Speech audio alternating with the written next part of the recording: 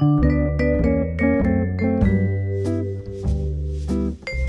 everyone, this is Sandy. Welcome back to Easy Cooking. So today I'm going to be showing you how to make tacos de bistec, which are just steak tacos. They are really easy to make and super delicious, so hopefully you'll give them a try. The preparation time and the cooking time combined is going to be less than 30 minutes. I hope you enjoyed this video. Let's get started.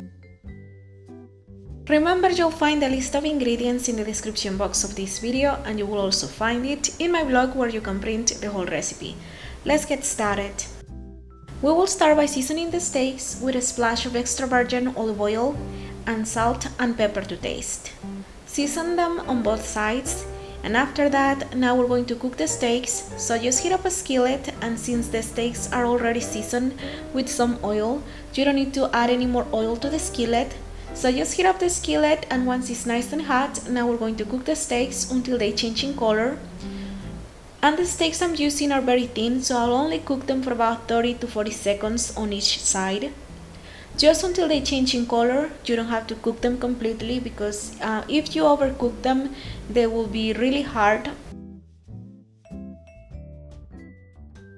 So after they lose that pinkish color, um, just set them aside for about 2 or 3 minutes before you slice them.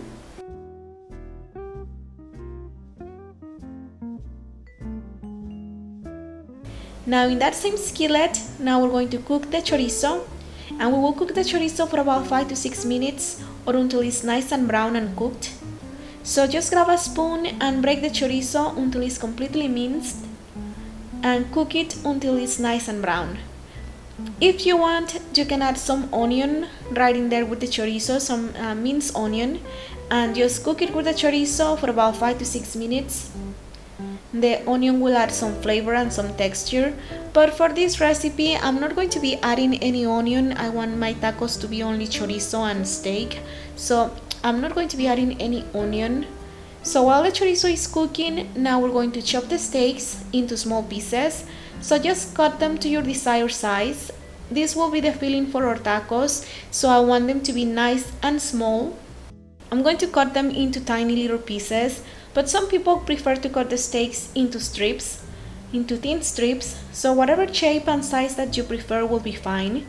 So after that, once the chorizo is cooked, now we're going to add in the steak back into the skillet, stir to combine and continue to cook for another one or two more minutes or until the steak is heated through and completely cooked. Like I said, my steak was really thin so it's already completely cooked. So I'm just going to stir together for about a minute and then I'm going to be ready to serve. If you need to cook this for a longer time, feel free to do so until the steak is completely cooked.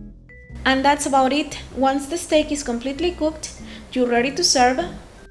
So to make the tacos, just grab the tortilla, add some of the filling right on the center, and to serve them, just garnish the tacos with chopped cilantro and chopped onions, and serve them with lime wedges and your favorite salsa, and that's about it. Enjoy! These and some other delicious recipes, please don't forget to visit my blog, the link is going to be down below. And remember, you also find me on Facebook, on Twitter, on Instagram, on Pinterest, and everywhere, so all the links are going to be down below. If you want, you can check them out.